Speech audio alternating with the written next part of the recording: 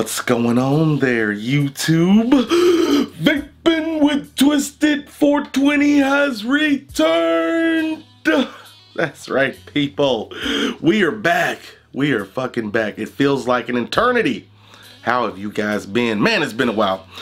I, am back from vacation. Had a really good time. Uh, did some traveling. Saw some stuff on the East Coast. It was really, really cool. It was a good little break. But now I'm back and I'm ready to shoot some motherfucking videos, people. And we got some fun stuff planned. Man, I came back. it's fucking storming. It's cold. I was very shocked. It's fucking warmer up where I was than where I am. But anyway, anyway, people, let's get back on track with things. And today we're gonna get back on track with things with the review.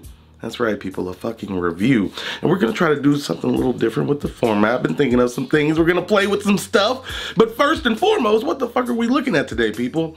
Today we are taking a gander at the RevTech Phantom 220 watt kit. That's right, people, RevTech. And these guys, I like their stuff. Their first round, they had all those devices. Now they came back with just one and I kind of like what they're doing. And before we get into any of the other stuff, one thing they're doing on here I think is really cool. I haven't seen really done much at all. They got a fucking pin set up. You can do a lock, little fucking lock pin on here and people can't pick up your stuff and vape it. Really good idea, but we're gonna get into that and more and talk about all kinds of stuff, but we're gonna break things down. We're gonna break them down into sections, people, and we're gonna see how it works out. Hopefully good, fuck me, I don't know. We're gonna see, but let's, let's, let's just play it by ear and see how it goes.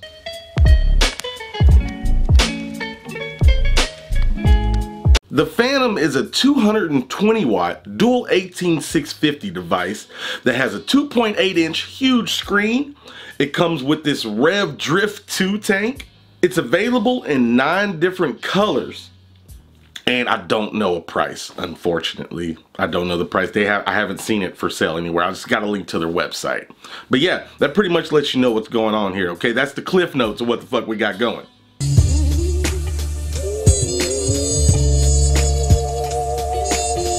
And the first thing you're gonna notice is life in the fast lane. Oh yeah, shit's about to get real. You know, I saw some pretty, uh, saw some pretty silly stuff um, on their website too. Uh, I'll, I'll bring it up later on. It'll be pretty, it's pretty funny. It's pretty funny. But let's see what's inside here, people. All right, we got a red one here. And I'm gonna be doing a giveaway on Instagram with some of these. So if you're into that kind of stuff, maybe you, oh, son of a bitch. What, uh, we had some stuff fall out here. Okay, never mind. It's just a quick button guide. Check that out. Let you know how to do some stuff real quick if you need to. Don't worry, I'm gonna show you. So yeah, check it out. Got our device in here. Love that gradient paint. You got your tank. And if we take all that out and dig a little bit deeper, we're gonna discover more contents. And I kind of like this little labeling in here. It looks kind of classy. I dig it. even got their coil shape in there. Take this, open her up, and we're gonna have all kinds of goodies in this bitch. Yeah, get all these manuals and stuff out. You got warranty cards. Warning, wait, that's, that's got me nervous. Let me see what this is about. Do not use this device other than vaping. What? that's the first thing it says. Do not use this device. All right, fuck it. Um, we're, we're gonna move right past it. We got a manual here, pretty dope. Warranty card. Nobody uses these. Does anybody even fill these out? I would love for companies to send in like statistics of how many people send in warranty cards. That'd be dope. Be curious to know. All right. We got an extra glass in here for our tank. Some extra O-rings and seals. All right. Pretty standard stuff. We also have, oh, look at this little fancy, oh, fuck, fuck me. That's the, that's the neighbor. That's his, that's his truck. That's his damn truck. It sounds good. I'm not gonna lie. It sounds good. Give me just a second. All right, folks, now that he's gone, yeah, this is a really nice USB cable. Look at that. Very nice. I dig it. Nice and braided. Feels feels quality. And last but not least, uh, come here. Come, yeah, get out of there. Get out of there.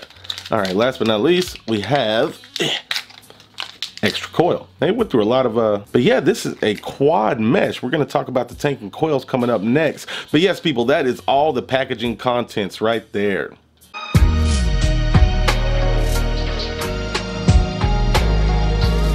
So here's the Rev 2 tank, all right, five mil capacity, and you got a little arrow here, push back top fill. Pretty simple, pretty simple. Come off, you son of a bitch. Yeah, bam. 810 drip tip, removable up there. Put your own shit up there. Um, Let's go ahead and move on down to the bottom. Got some adjustable airflow, pretty standard shit there. Now, this is one of those systems where like you can't see the juice level down here. And uh, somebody, who did that first? Somebody had, I think Vaporesso had a tank. The Cascade, if I'm not mistaken, where it had the juice down there. So when you're tilting it while vaping it, you're still getting juice to your coil. Um, only thing I don't like about that is you still, like once it gets below here, can't see your juice level. So that's a thing, but pretty standard. Here's the big single mesh. We're gonna take a look at all the coils here in a second. Looks pretty good, pretty standard tank, good wicking channels. Everything's been pretty good here. Here it is sitting on the device, got some liquid in it. And yeah, so that's the Drift 2 tank. I like that they're keeping everything all car themed and stuff, and that the tanks actually match the mods. So that's kudos on that, kudos on that. Let's take a look at this coil family. Okay, so you can see we got three coils for this thing. The M1, the M3, and the M4. I don't know why the fuck they skipped M2, but bam, M1, M3, M4. Okay, so we got the single coil, the triple coil, and the quad coil. This guy's a 0.18. These two are 0.15s. Let's take a quick gander at these bitches in macro mode. Quick note on these, there's uh, three of them to a pack and all of them are individually wrapped like this. I think that's kind of nice. All right, here's the M1. If we take a gander at it, yeah, it's a big single mesh. And I like the way this guy vapes. It's a pretty good little coil right here. Not a bad one, not a bad one. Here we got the M3. Check that bitch out. It's got that hexagonal kind of thing. I noticed anytime they get to like triples or sometimes duals, they move away from a traditional mesh and go to kind of these hexagonals. But they still seem to vape great, so I'm not complaining. But that's a close-up look at that one. And here's the M4. Now the M4 is a little bit more peculiar in my opinion. It's got kind of uh, these these squared off rectangular grids going on in there. But uh, yeah, this little guy vapes awesome. And I don't really know, has there been quad mesh? Maybe I'm out of the loop. But is this one of the first quad mesh ish kind of things? I don't know. I don't know. I could be lying. But there's a close look at that guy.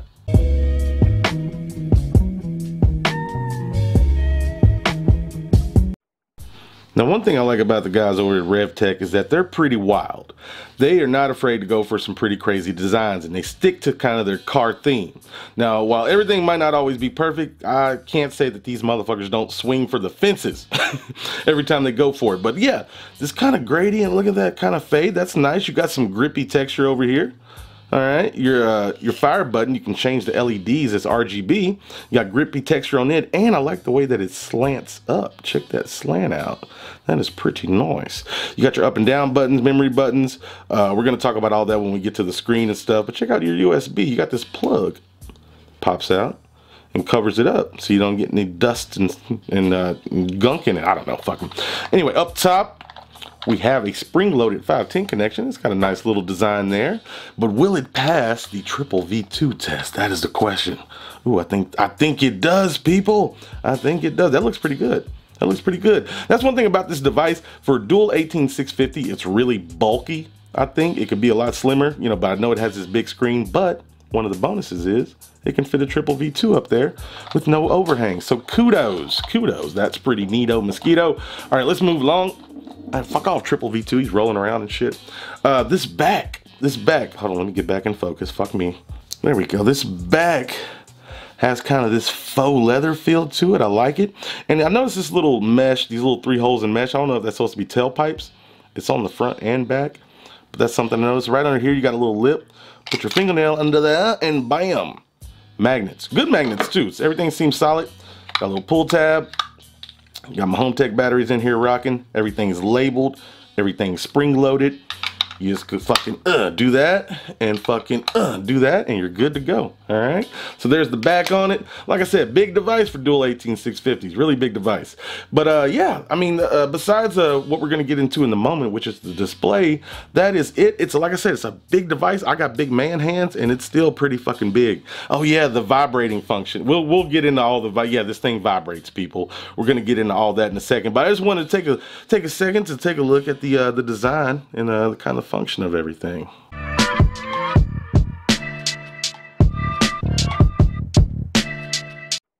Okay, people, here's the big enchilada for me. Here's my main thing, the display, of course, and something interesting. Yeah, it, it switches over to this screensaver pretty quick, and look at that. That's pretty dope. This clock and those gears, I think that's nice. I think that looks nice, but the display, something I noticed is it goes beyond the border of the screen. The screen goes past these edges. It goes past the frame. Something interesting. It almost gives kind of a 3D effect from the side. But anyway, let's get into it. And one thing, boy, that button is touch. You touch it, it's ready to fucking, it's ready to fucking party, okay? So you got pretty standard stuff here, up and down buttons, right? Everything works as promised. But the crazy thing is, and here's something super funny. Let me see. I took a picture of this shit on their website. Uh, it has a 32 megabyte chip in it or something, and it says bigger memory for dashboards with swag. Yeah, right there with swag. And I'm gonna show you some of that swag here in a second, people. But anyway, uh, how you get into the menu? Well, one thing you can uh, do, you can do a few things. You wanna turn the screen off and still vape it kind of stealth. You can do a one, two, three right there. Still vape it. You can lock it with three clicks. Three clicks unlock, but to get into the menu, you hold down this memory button for two seconds. And I love what they've done here in the menu system. Everything is labeled. Like usually you just get a, a fucking a letter or mode, but this tells you what you can do. Choose and select various power and temperature settings. See, I like that.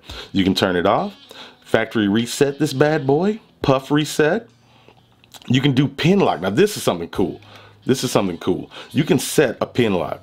You can set a lock type, and then we can go through and set a pin.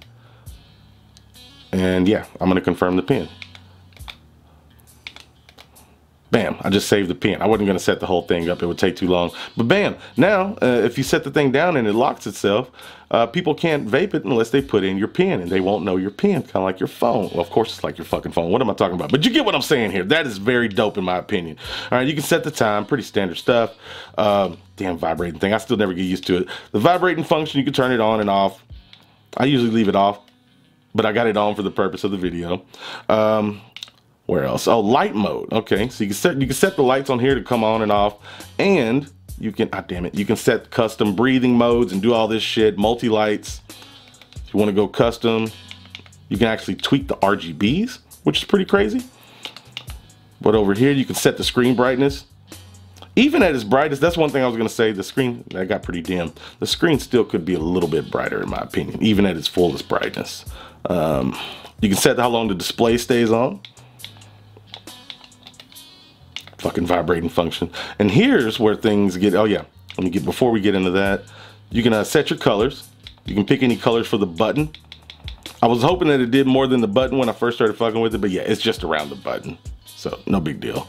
Um, you also got VPC mode if you want to go set like a power curve. You can got that optional. You go go set a variable temperature curve as well. They got that function in here. Pretty dope, pretty dope. You can also set this thing into bypass and then back to modes where you pick your, your different modes, temp control and power and everything.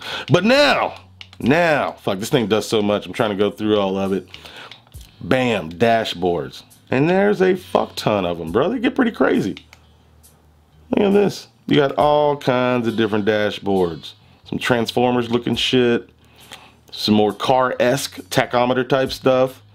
Um, yeah, pretty, pretty wild stuff. And this one reminds me of a fidget spinner, a Russian fidget spinner, the Pepiyaka specifically. That's kind of random. I don't know.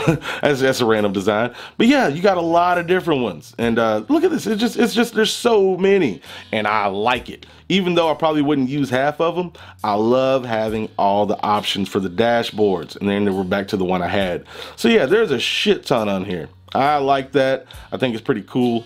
I'm gonna stick it on something random. Yeah, we'll stick it on that. Bam. We'll rock with that. But yeah, man, that's it. That's it. Now, if you want to get back out of this, if you don't want to pick any of the, any more of the stuff, you just hold the menu button again and then bam, we're back to vaping. Look at that shit. Look at that. That's fucking crazy. That is pretty dope. I gotta say they did a really good job on the screen. But yeah, that's how that's the layout. That's how you use it. That's all the fucking shit that you do to it, people.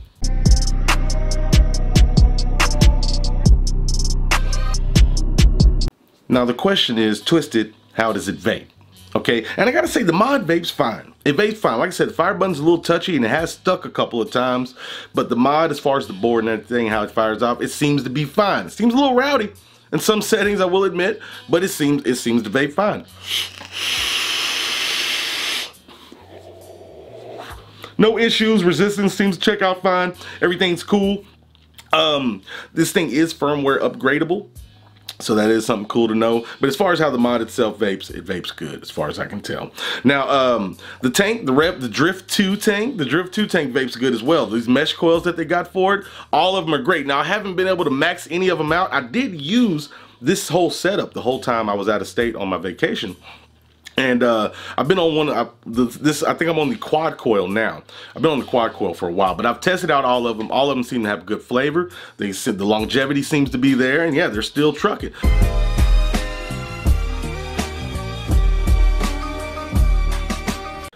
As far as pros, I gotta say, I like, I dig the design, I dig the paint job. I love the fact that the tank matches the mod perfectly. They use the same metals or something. I don't know. They got the paint dead on, so good there.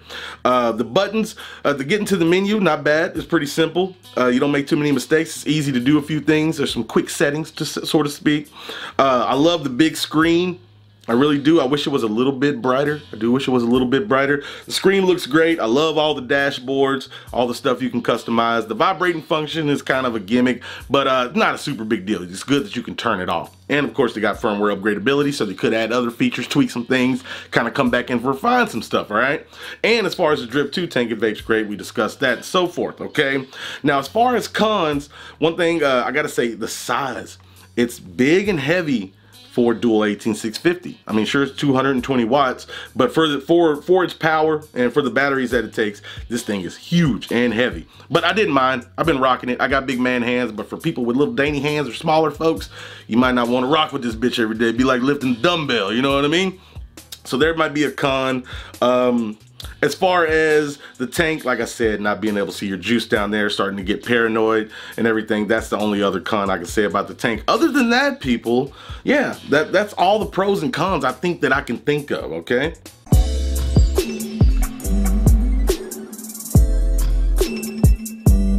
Overall with this guy, the Phantom, I really like what they've done here. Uh, the, I think RevTech, I like the, the, out the gate they had three mods, three different mods, different UIs. They were trying to do a lot at once. I think they came back a little bit more focused and tried to put more of that into one device and making it good. They came out with a family of mesh coils, a pretty good tank.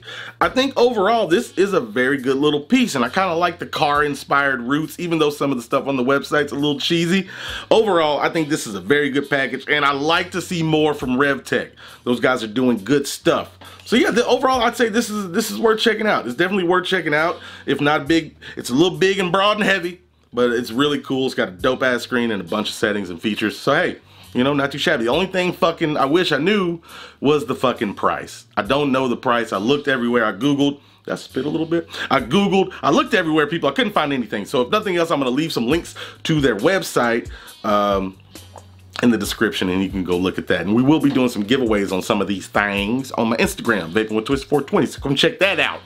And um, yeah, man, yeah, there we go. Feels good to be back, man. Feels good to be back. Hopefully you guys like the format, like the video and stuff. Uh, I did do some vlogging and stuff in New York and some other places. So uh, if you guys want to see that, let me know in the comments. I might try to put together a little bit of footage. I, I vlogged exclusively on that new GoPro Hero 7 Black. And that, man, the stabilization on that thing is crazy. Great features. It worked really good. But uh, yeah, man, I think that's what I got for you. Yeah, it feels good to be back, motherfuckers. Get ready for some reviews and some other silly shit, all right? So yeah, links in the description, the links that I can provide anyway, and yeah, that's what I got for you. So with that being said, thank you for watching. I truly do appreciate it. Feels good to be back, man. If you like this video, leave me a like. If you dislike it, dislike it. I don't give a shit. But I fucking told you, and fuck me, that's worth something. It truly has to be worth something. Remember, doesn't matter what the fuck you're vaping on, even if it has a crazy screen, does all kinds of stuff, long as you're not on them gosh darn stinkies. That's what's fucking important, all right? And last but not least, you stay sexy, YouTube. Me and the RevTech Phantom Kit, we're out. Now.